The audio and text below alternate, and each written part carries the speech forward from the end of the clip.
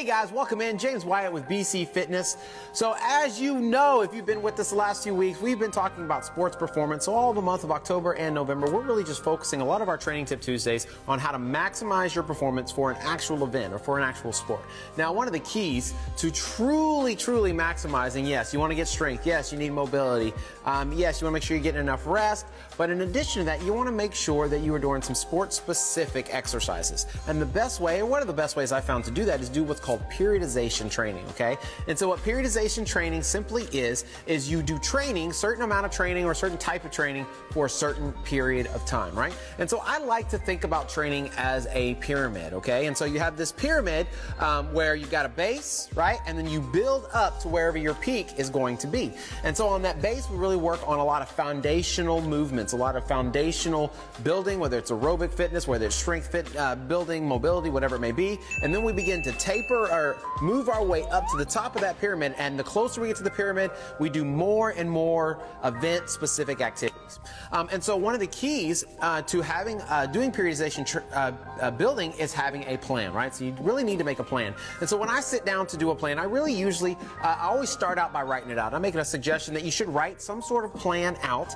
Um, and so I use I write it out and I use a pencil. And the reason I use a pencil is in case I need to erase something, right? Um, so I write out my plan. Once I get it all written and I usually start from whenever the event is I'm going to do, whatever that event may be, and work my way backwards, right? So I, I, start with, you know, what is it, my end game, what is my end goal, and I start working backwards. Um, and then once I have it all written out, I may go in and make some adjustments based off of whatever the, you know, my training rules may be, right? Certain things that I want to protect myself from injury or what have you. Um, and I make those adjustments. Then once I have it written out on paper and with pencil, then I'll go ahead and I'll plug it into my actual calendar or on my computer to do something that I can print out that I can follow along with. Um, and so the simple thing about periodization training is, is uh, I go work off of what we call IPP, okay? And what that basically stands for is introduce. So you introduce something new that you've never done before. You perform it, okay? And so you practice it basically, right? You do it. And then you perfect it on, and so those are bases off, off of three weeks, right? So on first week one, we introduce something new. Week two, we, uh, we perform whatever the, the exercises, the movements, the running, the mileage, the volume is. And then on week three, we perfect it so we get a little better at it. On week four, we do what's called recovery. So we basically just go back to week one to allow ourselves to recover, allow our bodies to kind of reset, and then on week five, we start the process all over again. And that's really what periodization training is all about. It takes your body about four to six weeks to adapt to any type of new stimulus, any type of new training program. And so if you constantly are doing the same thing over and over and over again, your body's going to adapt and you're probably not going to continue to see major results. And so by doing this periodization training, by giving your body basically four weeks to focus on one thing, um, where you've got recovery, you've got something new, and then you start something. It may be of a kind, right? It may be a little bit different with different intensity levels, or you know maybe some different strength or uh, endurance focuses. But whatever it may be, make sure that you're kind of rotating it through. Now you can operate off of a four and a six week program.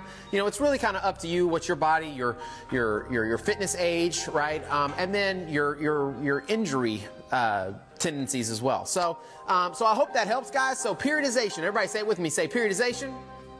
Say, there it is. All right. So make sure that you're implementing that into your training program, and I guarantee you're going to see some amazing results. Now, one thing you probably hear me say, somebody looked at me cockeyed when I said this uh, a few weeks ago. I said, I guarantee. And they're saying, how can you make guarantees? Well, the thing is, is this is just science. It's just math, and it's years and years and years and years of tried and proven technique. And so the only reason I can say I guarantee is because if you practice it, if you put it into play, and you give it the time necessary, you cannot help but be successful and get results. So I hope you guys give it a shot. Remember, we're in this for the long haul. It's not about what we do today, about how one workout is not going to get us in shape, right? It's going to be consistent, committed efforts that are going to get us down the road and get us toward our goals. So if you think about that, guys, it's going to change. You have to kind of change the way you think. So change the way we work out. And so remember, if you change your mind, you can change your life. So thanks for coming in today, guys. If you liked it, hit that sucker double time. Hit that heart on there. Let your friends know. Let your peoples know. Don't hide your wife. Don't hide your kids. Tell them all about Running with James. Tell them about BC Fitness. Tell them what we got going on. It's a great community. So you guys are amazing. Love you guys. Every week, something new. Peace out.